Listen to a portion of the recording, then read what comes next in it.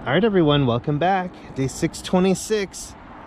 And look how gorgeous that is, guys. It's been raining off and on all day. It's just gorgeous out. I hope you guys are having a great day.